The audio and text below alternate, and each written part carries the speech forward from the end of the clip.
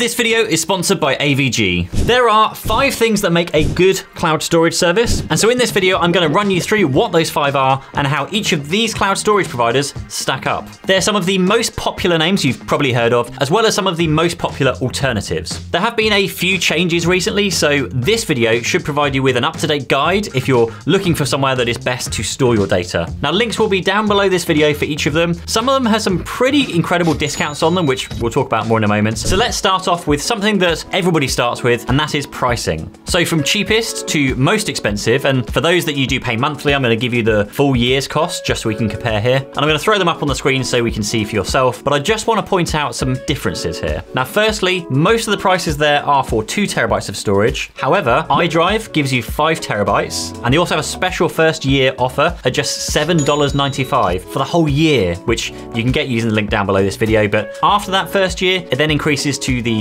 still the lowest price of all the others. But I just wanted to show that comparison without the discounted pricing for now. Microsoft OneDrive, the most they offer is just one terabyte of data. pCloud has a 10% discount, which I'll link again down below. But other than that, purely based on pricing, iDrive absolutely smashes it out the park there. So if you are purely looking at pricing, then iDrive kind of wins at this stage. Sync also provides a very affordable service in comparison with its other features, which we'll talk about in a moment. And the big players like Google, Apple, Dropbox, they all sit at the very top of that price point. Now, if you do have a lot of data and perhaps you're after unlimited storage, then you don't have any options as a consumer. But if you upgrade to some of the business tiers, unlimited storage does actually become an option. Again, I'm gonna put these prices up on the screen now, but still the pricing isn't that bad. 30 bucks a month at best and 100 bucks a month at worst for completely unlimited storage, which if you hold a, you know, a lot of data, still isn't that bad. But whilst pricing is one thing that most people focus in on first, there are some key differences that you need to be aware of when choosing a service. So in terms of features, all of these services will work on pretty much every device. You've got Apple, Windows, iPhone, and Android, with one exception, of course, with iCloud. Whilst you can use it on Windows and Android devices, I'd only really recommend iCloud if you're an Apple user with, you know, an iPhone, a Mac, and, and or an iPad, just because you get that full Apple experience by doing so. It's kind of like running Windows on a Mac. It does kind of work, but it's just it's just not designed to do that. So if you do have a mixture of devices, one of the other services may be better suited. Now again, they all have fairly similar features and similar desktop functions here. You can share files and folders. Some of them even look similar, but pretty much all of these, once installed, will just show themselves as an extra folder on your computer, which you can use to move things in and out just like, you know, any other folder does. There is one specific feature that I wanted to call out here though, which to most people can make a significant difference to how they use the service, and that's a feature called online files. Now, online files means you can still access all of your files and folders directly from your computer's desktop. You don't actually download the file until you either open the file or you choose to download it, typically by like right-clicking the file and choosing to download. Now, most of the ones I've tested so far have this feature. iDrive doesn't have that feature. Sync does have the feature, but you have to download the Sync Cloud Files beta client, which isn't really advertised anywhere, and has been in beta for pretty much a year, I think. But that does work well once you actually get there. So what I want to do here is to highlight some limitations here, which may take you one step closer again to deciding which one is the best for you. Now, the first limitation is around the maximum file sizes. Again, I'm going to show them on the screen here from smallest to largest, but those sizes will limit the size of individual files that you can upload. Now, reading through these limitations, for most people, the only one you might want to be careful with here is iDrive and maybe iCloud being at 50 gig. But with that said, I did upload some larger files to iDrive and iCloud, and I didn't have any issues. So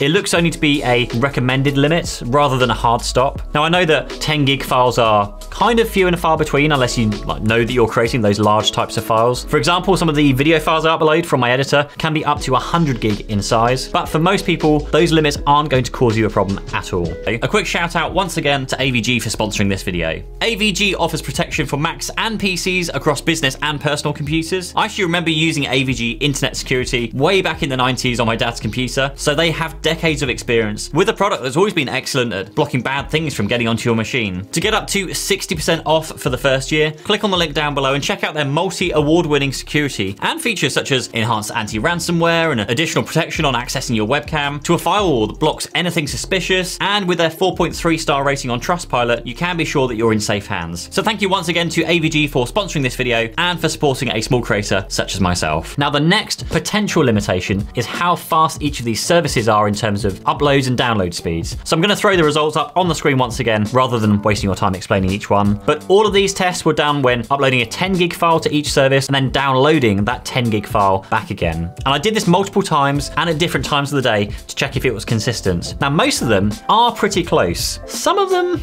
really not. Sync.com, shockingly slow. iDrive also, not great, but then at seven bucks for the year, I kind of expect that. OneDrive was also pretty slow to download compared to the others. Dropbox was actually the fastest to download, and then Google Drive was the fastest to upload for me. Number three, or maybe four are we on now? On the five things every good cloud service needs is to protect your data. This is typically by what they call data retention, which is how long they'll store old copies of your data. Sometimes it's how many versions of a file they'll store. Now, what none of these services do for you is back up your data. They do replicate your data to like multiple locations, so there's no issues of losing your data if one of their locations gets hit by like a fault or a natural disaster. But generally speaking, it's always best to use a different service to actually back up your data because what's the point of say Microsoft backing up your data and then Microsoft suffers an outage or if you delete something for example and you don't realize it until a few months later, it's too late to recover it. But data retention is something that some of these cloud services do offer, which means you have the ability to roll back and recover data to a certain point. Now I would argue here that sync.com actually has the best standard protection at 180 days, whereas you need to upgrade to Dropbox Pros or business level to get that same protection, and of course, at a higher cost. pCloud also offers the option to upgrade to one year of retention, which is actually pretty good, but does then make it very expensive in comparison to the others. So Sync is now one of the cheapest and has some of the best retention, but some of the slowest speeds. Damn, it's really not making my job here that easy. But that isn't all, because the next thing you should be concerned about is the security of your data. Normally it's the last thing people worry about, but I think it is still very important to cover in one of these videos. Now, firstly, the good news here is that all of the services support two-factor authentication as a bit of a standard, but I want to highlight a few here. So Google Drive, Dropbox, OneDrive, and as of January 2023, Apple's own iCloud all support the use of one of these these YubiKeys, which is, as far as I'm concerned, one of the best ways to protect your account from being hacked. So without having this physical key, for example, you can't access your data. So it's very, very difficult for someone to get into your account without your key. Now, I'm going to leave a link down below to buy these because not many people seem to know about them still. But secondly is a phrase known as zero knowledge encryption. Now, this means that even if someone did get into your account and find your data, they couldn't access it or do anything with it because they don't have the decryption keys. Now, unfortunately, the likes of Google Drive Drive, Dropbox, OneDrive, and until recently Apple, they aren't zero knowledge. Now the companies themselves hold the keys to your data, so if someone does get in, they can browse your data and still take what they want. So if you want to secure your data, you want to use a zero knowledge service. Now of the list we're looking at, that means iDrive,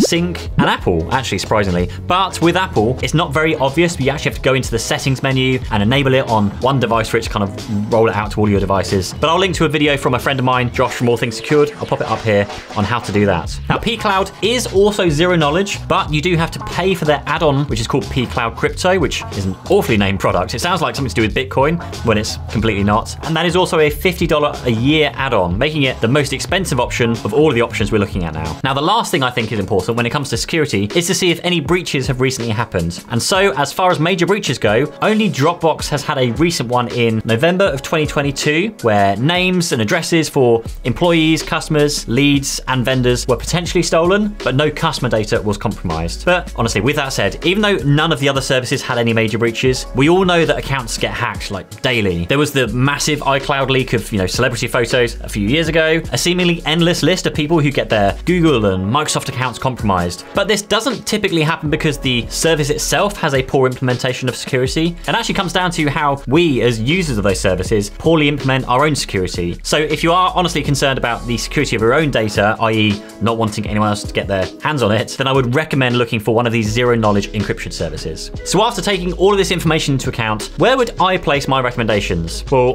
iDrive is cheap and secure, but slow. But at seven bucks for like the first year, you can't really complain there. Now sync.com feels like it's the best all-rounder. It just sucks for me that it's so slow to upload and download in my most recent tests. But I would recommend you give it a try first. Like maybe you can find your speed results are a lot different to mine, and you can always just ask for a refund if it you know doesn't work well for you either. Otherwise, you can't actually go wrong with sticking within your own ecosystem. So Apple, Microsoft, or Google, if you're already with them, given that you get all the extras like Microsoft desktop apps or the Google Docs, just make sure that you secure your accounts properly with the YubiKey. Now the good news is that I wouldn't say any any of these services are bad services. It's not like my password manager review where I found some pretty significant issues with some of them, but until next time.